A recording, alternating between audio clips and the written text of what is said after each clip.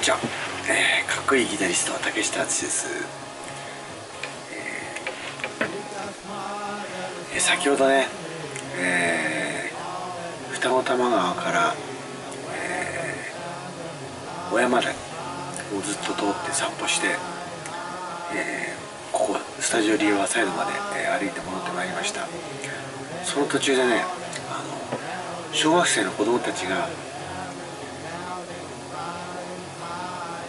おースイちゃんロマイン」って歌ってるんですよ。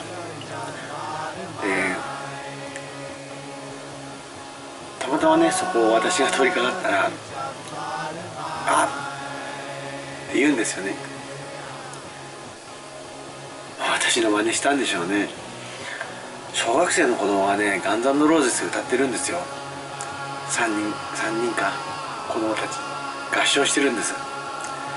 いやいい光景だなと思って。あの私も音楽やってて本当に良かったと思いましたし、えー、歌を歌って良かったと思います、えー、そしてねあの今朝あの、え、私の曲である「せいの」という曲「せいの」一世のせいみたいな「せいの」ですね。の、えー、シングル CD を、ご近所の音楽評論家である、え、県中島さんのお宅にお届けしたんですが、えー、先ほど表のガレージにね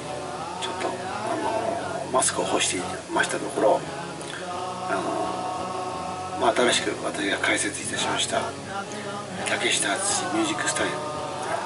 とてもいいよと、まあ、気軽に言ってくださいまして、えーね、とても体調も良さそうですし、ま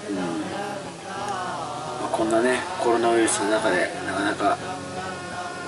ー、自粛ムードの中ね私たちもなかなか活動の場というのは限られているんですが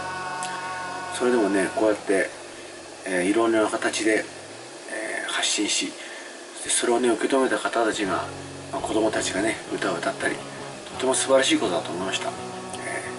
ー、これからもね、えー、そういった活動を続けていければいいなと、えー、強く思っております、え今後もね皆さんにとって、えかっこいい存在であるように、え頑張りたいと思います。それでは竹下敦でした。